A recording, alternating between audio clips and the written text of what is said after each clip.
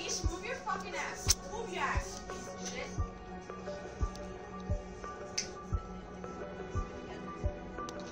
Right now.